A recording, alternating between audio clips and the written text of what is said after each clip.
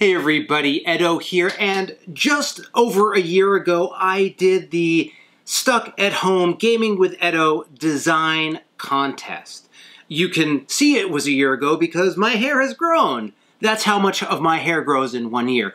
Anyway, I did that contest and it was sort of a one-time thing, but I was really, you know, stuck at home, walking around by myself, you know, or with my family and just thinking about, you know, all of the challenges of the situation at the time and wanting to provide some inspiration to people to do something while they were just at home with extra time. And I did the contest.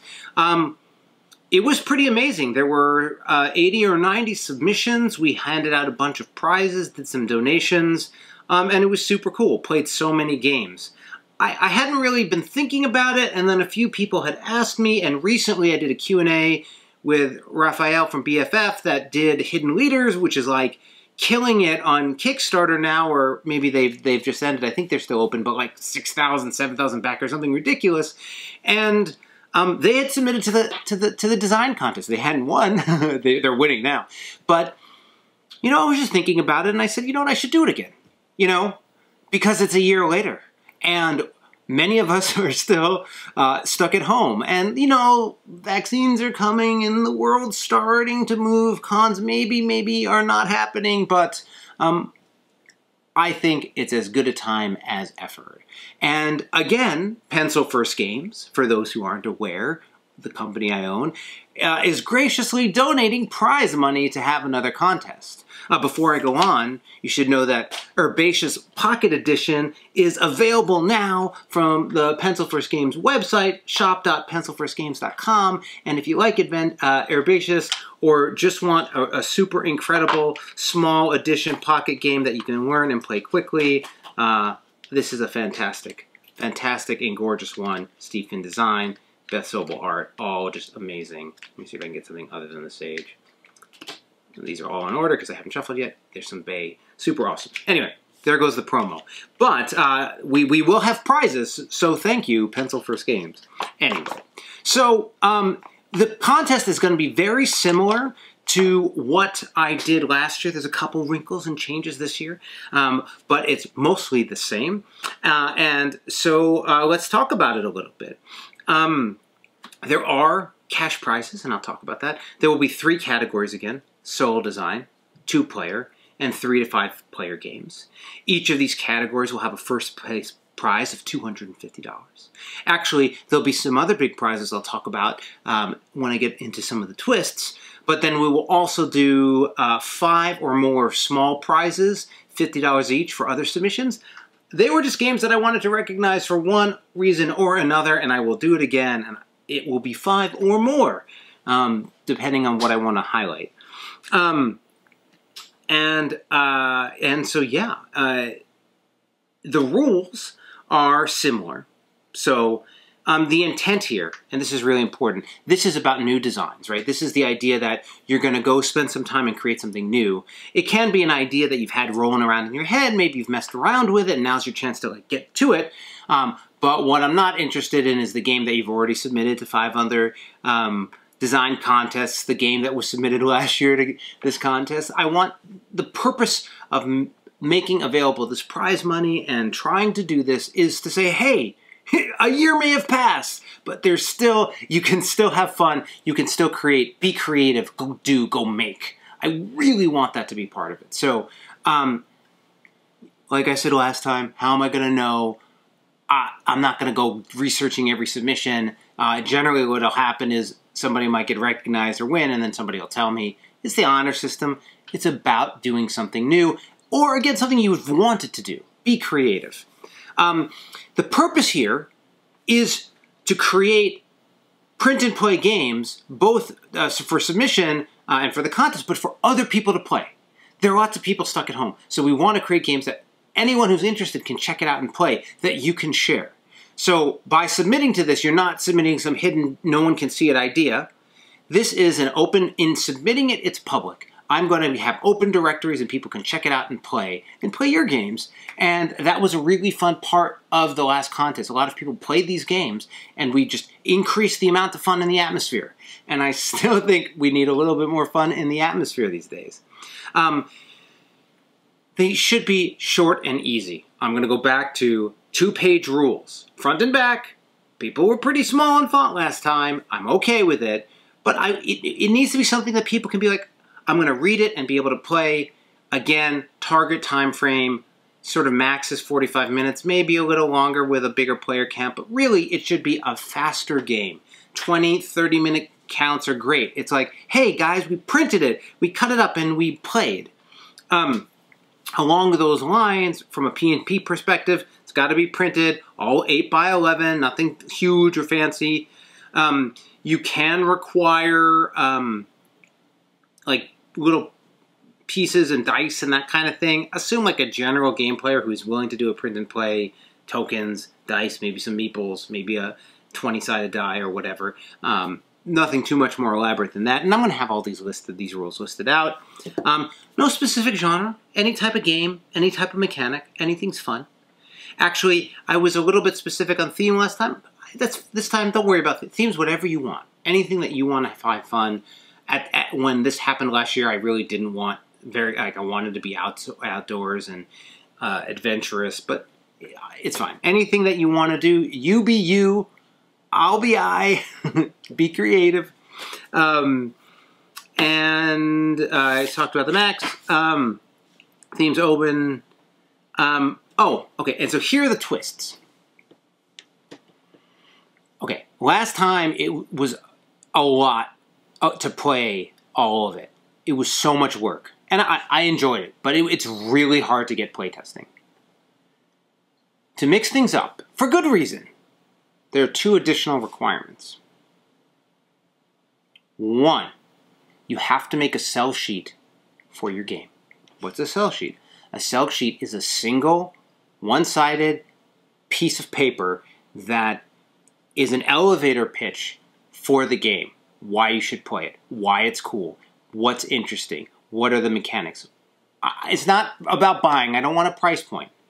But it's like, if you don't read the rules and you don't look at everything and you just looked at this one piece of paper, would you want to play it and why? What's the hook? What makes it cool and interesting? You got to submit one of those. In addition, a 60 second video. Absolute max of 90, but I'm really talking 30 seconds, 60 seconds, one minute video pitch on the game. It can be fancy, it can be cool, you can do more, but it, it, it can absolutely 100% just be you on camera talking about it. Now, wh why am I doing this?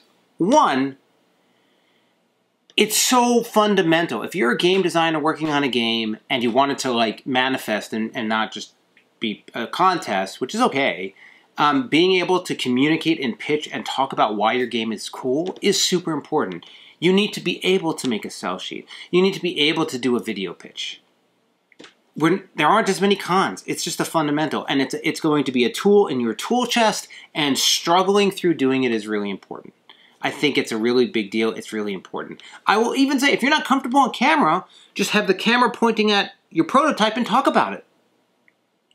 That's fine. Now, I will, I will, I'm going to add a reward for the best sell sheet and the best video. So that's two other 250 prices. And maybe it's because you do a bunch of whiz-bang stuff in it, or maybe it's because you're witty, or maybe it's because the game's that good and you're like, here's the hook. And I'm just like, I want to play.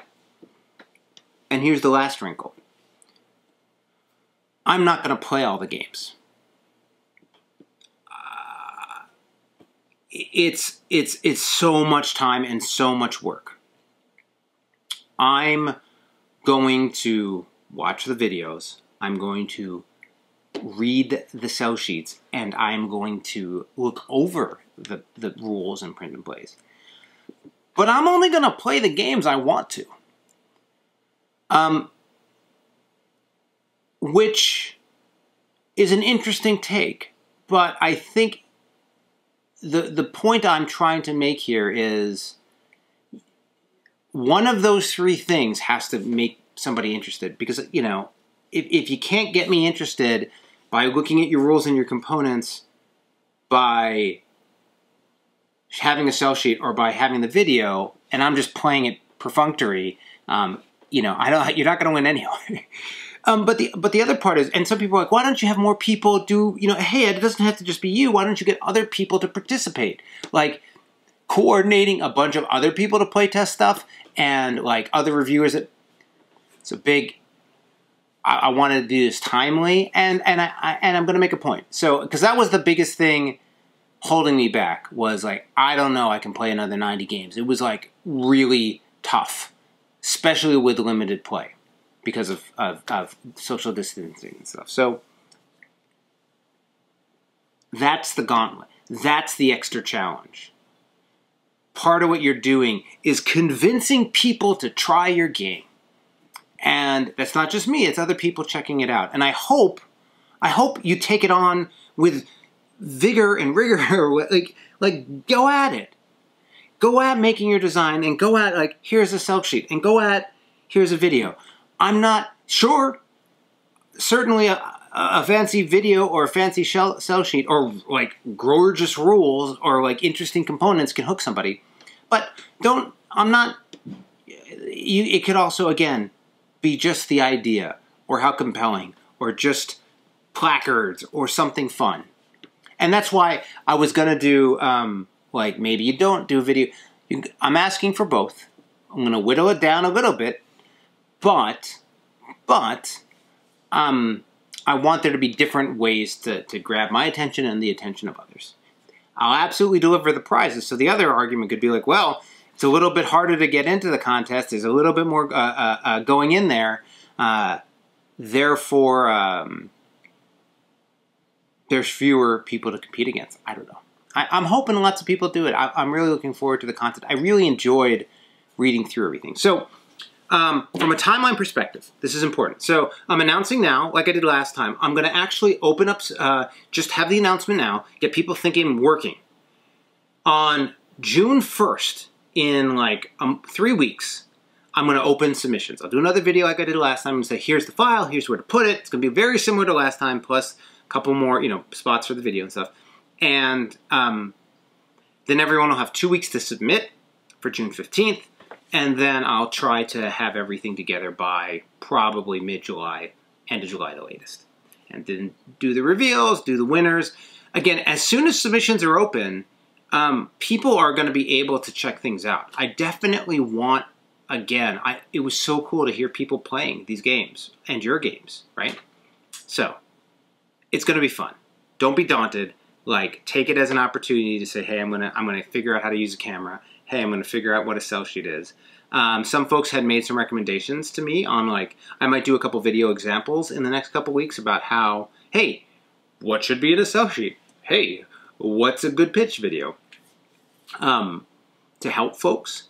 Uh, but really, I just want to get people making but in this this time, get people thinking about how to sell, how to get people. And sell's not the right word. How to get people excited to play your game. Um, cool. Any questions? Uh, I, I, will have lots of uh, rules and notes and, and, stuff like that. But questions, comments, add it. Happy to add it and just share. Let other people know. Let folks know. Let's get lots of submissions. I think that's great for everybody, uh, and I'm excited. So anyway, thanks so much. Bye. Hey everybody, Edo here, and thanks for watching Gaming with Edo. Reviews over here on this playlist, League and Insider videos over here on this one. Subscribe, share, all that good stuff. But most importantly, play some great games. Thanks.